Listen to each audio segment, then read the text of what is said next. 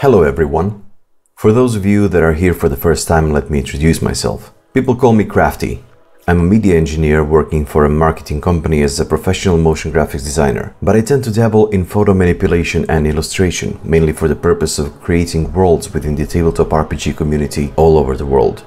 I worked with Black Void Games, Dice Pencil and Paper, Trinity Knot Studio, and I'm currently working with Paleo Gaming on their upcoming tabletop RPG Omega Horizon.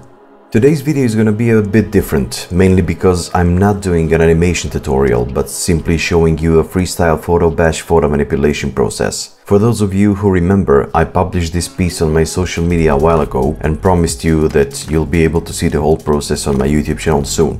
Well, this is me delivering on that promise. While we're at it, let's have some additional fun.